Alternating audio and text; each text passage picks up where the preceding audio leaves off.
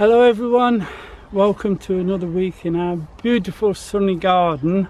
But if you look over my shoulder you can see a massive rainstorm coming.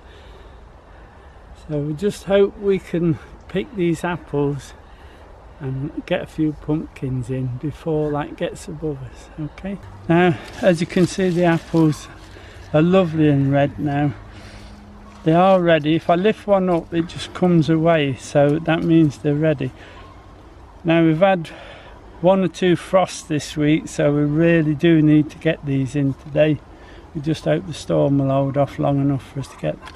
We're going to pick them into baskets and then we'll get them to the shed and then lay them out but we'll show you that later.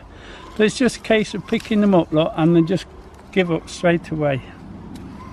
Let me show you another one. You just lift them and they're off. If you have to pull then they're not ready. These are just coming off on the road. Oops, that one didn't. Let me use both hands because they are lovely apples. Let's look at that. Beautiful. Now, they're very clean, but as you can see, they've had a wasp or something on that one. But we'll take that up and Diane might be able to cut that out and use that one straight away. They're lovely and clean, as you can see, that's because we've had the grease bands on and everything to protect them. They're done very well. A huge crop. It's going to take quite a bit of time to pick them, as you can imagine. So we'll fill a basket and show you and then we'll get on with it. Beautiful apples. I'm afraid it's going to take more than one person to pick all these. So we'll get them picked between us and then we'll come back to you and show you what we've got. Now we've stopped because I do believe the storm is above us now. We're getting the squall winds which are usually in front of the rain so what we're going to do we're going to gather up and get back up to the shed where at least we might be dry. We'll probably go for a cup of tea and then come back later hopefully when the sky's cleared a little. Now you can see we've picked two baskets and there's an awful lot of apples still left on this tree. It's beginning to rain now so we're going for a cup of. Hello everyone. We're back down at the apple tree going to do this harvesting.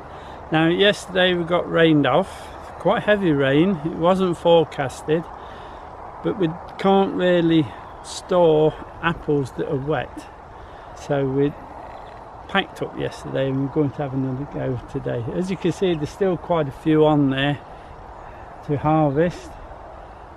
So we'll get these harvested and then come back to you and we'll go and look at the pumpkins and the squashes. That's the apples done, they were very ready. As soon as you touch one, another one would drop off. Now there's the apple harvest for today we got quite a few in the shed that we actually picked yesterday so we'll get them all together and show you the finished job. These are some of the apples that we've just picked down there. They look so good we had to show you them. Now the ones at this end are not so red. These are the ones that were under the canopy in the tree. So what we'll do we'll use those first for cooking. They're lovely and sweet make wonderful pies. Now You've just seen the ones outside in the baskets. These are the ones that we picked yesterday and I've started to lay them out on the table. You see there's quite a few. The thing to do is to put them in without them touching each other and then every day when I come to the shed I can more or less look up and down the rows and any that's going bad I can take them out. I always find that's the best way of doing them. Now this year I've put them on this mesh. It's a rubber mesh. I don't know where I got it from but wherever I got it from I actually bought the roll and it's I couldn't find it but this year I found it and I've used it for below the apples. It's nice and soft and pliable no sharps on it at all so the apples will sit on that beautifully. Right let's go down and pick some pumpkin. Now we're down at the pumpkin patch and uh, because this year I was having my knee up they've had to fend for themselves this year so they're not quite as big as normal but they're usable and the smaller ones will go for decoration. We'll harvest some, put them in the wheelbarrow. I am going to actually take most of them because I need to get them into the greenhouse to mature them because what are decent obviously the granddaughters will want. Now we'll lift the pumpkins that are ready and then have a look at the squash. So as you can see some are made good size, some haven't made size at all. But Diane likes the very small ones, she uses them for decoration in house over Halloween, it makes it look nice. Now when you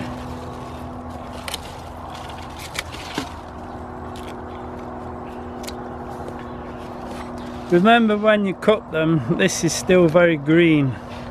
So cut well away from the pumpkin. If you cut it just here, that'll bleed and then it'll go rotten. Now, when you're cutting the pumpkin, normally I like to see this nice and brown. But with the weather being like it is, I'm having to take them a little bit early. So I'm putting a long stalk on them and cutting well away from the fruit. We'll put these in the wheelbarrow. I'm going to pick these and fill the wheelbarrow and take them up to the shed. Hey, one or two's showing a bit of rot on there, so we'll just whip that off. Get plenty of stalk on them, they'll be fine.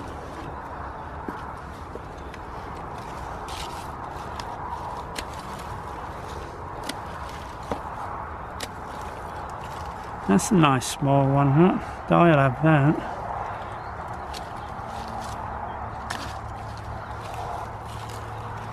Right, we'll get these loaded into the wheelbarrow and take them up to the shed. Also, remember not to pick them up with these stalks because they could easily snap off.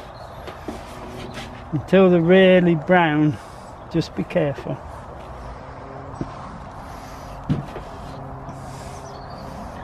There you go. Now we're in the squash arch, as you can see, doing very well. Again now, they've had to look after themselves this year, so they've done very well. Very pleased with them. So what I'm going to do is I'm going to harvest some that are ready. You know where you put your nail in it and if it's soft, it's not ready, but if it's hard, it is all the squashes are like that. So if there's one or two ready we'll take them away because we are getting some pretty bad weather and we are getting frost. So we'll just we just take these weird and wonderful ones. When it's had a wash up at the shed that looked quite nice actually. Again plenty of top on. I couldn't get a lot with that one. Really do need to be browner than that really do need to be browner than that when you harvest them.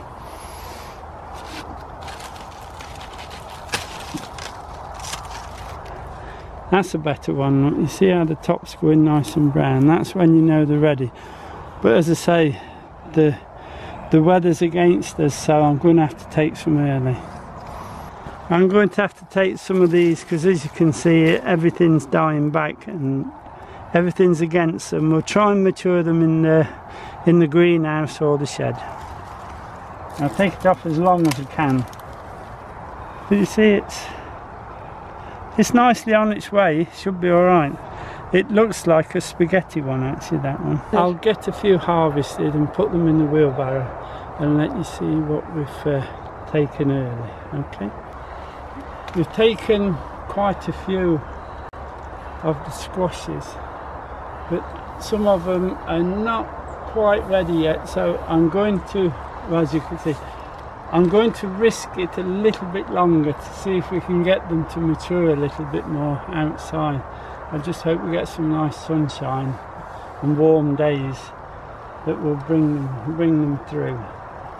If not we've got a good pile in the wheelbarrow we'll be alright now these are the pumpkins and the squashes that we've harvested a little early. The ones we've left we'll just have to chance and just hope the weather doesn't get too bad for them. There's a wonderful array there. This one I don't know what musical instrument that one looks like I'm sure. Now that's the little harvest for today and the apples don't forget and yesterday because of the rain now that will be about it for this week's harvesting but I just want to say that for next year the next growing season if there's anything that you would like me to grow please let us know and we'll have a go at growing it. Providing they're not trombone squashes.